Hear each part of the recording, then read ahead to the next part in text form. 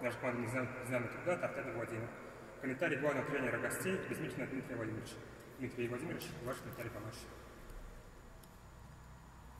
если брать в целом, то э, начало, начало матча, первые минуты, немножко не сконцентрировались, э, поэтому имели несколько моментов в свои ворота, да, то есть хорошо там выручил наш защитник, ну, а так могли бы проблемы с первых минут начаться, да. Слава богу, обошлось, после этого э, стали контролировать мяч, да, выходили с обороны, хотя соперник нам это позволял.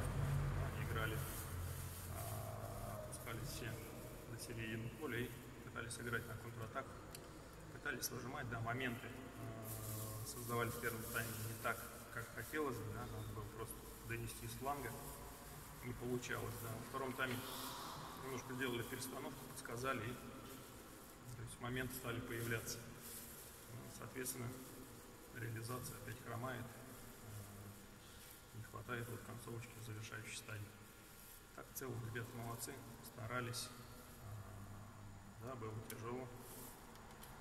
Ну, выдержали, да, Э, я имею в виду темп все 90 минут. Опять же, мастерства или невезения. Не знаю, чего больше не хватило нам для победы. Коллеги, друзья, по вопросам. Да, какая-то серьезная цель в этом сезоне перед командой поставлена? Серьезной цели нет у нас. У нас э, цель э, основная – это привлечение воспитанников со своей школы и, соответственно, давать возможность их, им играть, развивать своих воспитанников.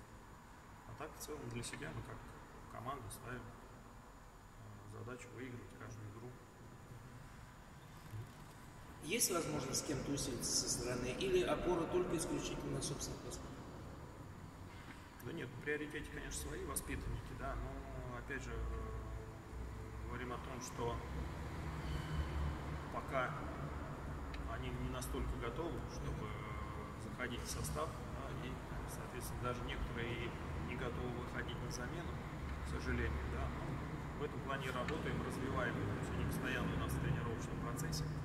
Скорее всего, наверное, нет усилиться, но если только еще одну позицию можем, хотя сейчас очень сложно кого-то найти, потому что все уже укомплектовались. Так что, если будет какая-то возможность, да, мы ищем там на одну позицию игрока. Если получится, стороны вот возьмем. Если нет, то будем, конечно, нацелены на своих воспитанников. Будем выпускать, подпускать, как бы это сложно было. И в связи с этим чем объяснять не совсем уверенный старт чемпионата? М, Очень сложно, очень сложно сейчас сказать, чем, чем обусловлено. А, Но опять же говорю, мы в каждой игре имеем моменты, и реализация отсюда страдает. да. А, Соответственно, футболисты начинают нервничать. Когда нервничаешь, соответственно, мысли приходят не те, которые нужны. Да? То есть, наоборот, нужно собраться на завершающей стадии. Мы начинаем торопиться, нервничать. Отсюда ну и если даже, честно, по первым играм у нас было очень много ошибок в плане, в техническом плане.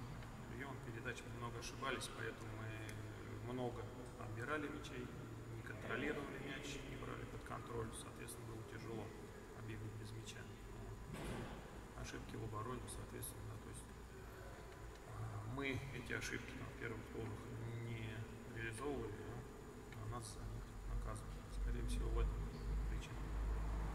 Ну что ж, дай Бог вам выправить игру и почаще дарить праздник вашим верным болельщикам, которые вот сегодня в Орехово-Зоеве в лице 30 человек приехали и вас великолепно поддерживали. Успехов! Спасибо, и спасибо болельщикам, что приехали поддержать. Вам тоже удачи. Спасибо. Еще вопросы будут? Спасибо. Удачи в сезоне. Взаимно. До свидания.